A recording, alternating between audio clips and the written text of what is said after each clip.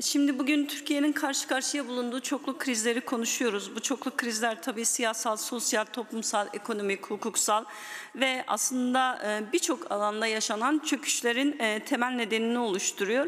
Ve bu çöküşlerin, bu krizlerin her birinin bir de tarihsel arka planı var.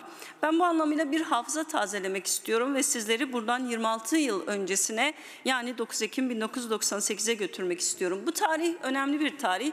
Neden önemli bir tarih? Çünkü o zaman uluslararası güçlerin aslında bir e, Kürtlerin komplo olarak tarif ettikleri bir e, meseleyle e, Sayın Öcalan'ı Türkiye'ye iade ettikleri tarih ki bu konuda biliyorsunuz en son İtalyan Başbakanı'nın bir demeci çıktı ve dedi ki Amerika bize e, Öcalan'ı Türkiye'ye verin dedi ve bizim biz NATO ülkesiydik bizim bir gücümüz yoktu doğal olarak da biz Amerika'nın e, bu isteğine boyun eğdik dedi. Peki Amerika ve uluslararası güçler aslında bunu yaparken gerçekten Türkiye'nin ve Türkiye halklarının faydasına bir iş mi yaptılar yoksa Türkiye'yi çok daha uzun bir süre e, aslında bu savaş ve şiddet çemberinde tutmak açısından mı bunu yaptılar? Bunu bugün herkesin bir kez daha yüksek sesle sorması ve bunu soruya cevap araması gerektiğini ifade etmek istiyorum. Tabii ki bu komplonun kendisinin Kürt sorununda çözümsüzlüğü, savaşı, şiddeti aslında körüklediğini ve en nihayetinde de derinleştirdiğini, çözümsüzlüğü derinleştirdiğini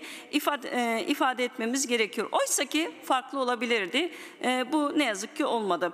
Şimdi Kürt halkının demokratik çözüm ve barış umutlarını bu komplo aslında boşa çıkarmak istedi. Ama sadece burada Kürt halkı ve Kürt halkının bu barış umudunun akamete uğraması, demokratik çözüm ortamının mitlenmesinden bahsetmiyoruz. Aynı zamanda bir bütün Türkiye'nin kuşatılmasından ve onun e, iradesinin ipotek altına alınmasından ve Kürt sorunun çözümsüz bırakılması gibi bir tarihsel süreçten bir e, hikayeden bahsediyoruz. Bir yaşanmışlıktan bahsediyoruz. Çok uzun yıllardır 100 yıllık bir Kürt sorunu var. Bunun 40 yıldan fazlası çatışmalı geçmiş bir sorun ve bu sorun Türkiye'nin çözmediği için üzerine cesaretle gitmediği için de her zaman aslında yumuşak karnı olmaya devam etmiş. Peki uluslararası güçler bu yumuşak karnı üzerinden ne yapmışlar? Her defasında aslında uluslararası güçler de Türkiye'yi kendi hegemonyalarına almak ve kendi politikalarına entegre etmek açısından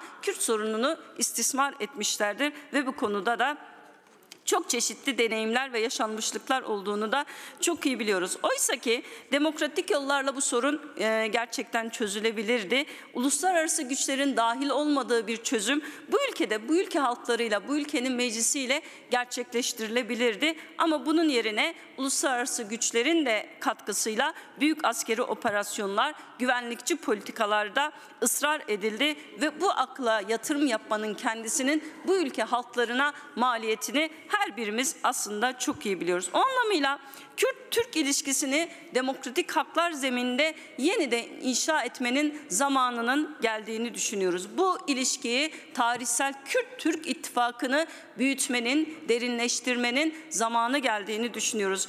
Kürt sorununun red, inkar politikalarıyla çözülmeyeceği çok açık. Kürt halkının temel demokratik haklarından vazgeçirme planından bir e, sonuç alınmayacağı çok açık ve net. Bu sonu politikalar denendi, çokça denendi ama günün sonunda geldiğimiz yerde işe yaramadıkları açık ve net. Türkiye'nin çok önemli bir deneyimi var. 2013-2015 deneyimi bu ülkede yaşandı. Bu ülke topraklarında yaşandı ve bize önemli bir referans olmaya ha Buyurun Sayın Kılıç Koç Yiğit bu referansa dönüp bakmak ve gerçekten bu ülkedeki başta Kürt sorunu olmak üzere bütün diğer sorunları da müzakereyle, diyalogla, çözümle e, çözmek gibi, tartışarak çözmek gibi bir önceliğimiz olmak zorunda. Bu tarihsel bir zorunluluk. Neden tarihsel bir zorunluluk? Bakın dün burada e, bir kapalı oturum yapıldı. Her ne kadar biz o kapalı oturumda gerçek anlamda çok bir şey öğrenememiş olsak da şunu ifade etmemiz gerekiyor. Bölge evet bir bölgede büyük bir yangın var. Gerçekten bu yangının Türkiye'ye direkt ve dolaylı etkileri illaki olacaktır ve bu yangından kurtulmanın yolunun da aslında diyalog ve müzakere kanallarını açmaktan geçtiğini çok iyi biliyoruz.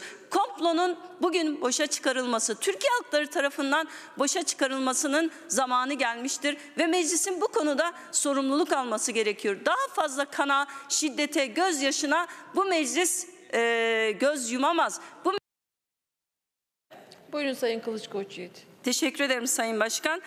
Bu meclis tarihsel rolünü oynamalıdır. Artık tecritin karşısında susan, tecritin karşısında sessiz kalan, tecrite göz yuman, Kürt sorunundaki çözümsüzlüğe göz yuman bu meclis gözlerini açmalıdır ve bu sorunun üzerine gitmelidir. Elini taşın altına koymalıdır. Kürt ve Türk ittifakı için meclisten başlayarak bir adım atılmalıdır ve bu yangın, bu ateş artık söndürülmelidir diyoruz. Bu anlamıyla iktidarıyla muhalefetiyle bütün parti gruplarına, grubu bulmayan bütün milletvekillerine yeniden 9 Ekim'de çağrı yapmak istiyoruz. Gelin bu ateşi hep beraber söndürelim. Gelin barış aklını hakim kılalım. Gelin çözümü, diyaloğu temel bir yöntem olarak esas alalım. Kürt sorununu çözelim ki Türkiye demokratikleşsin.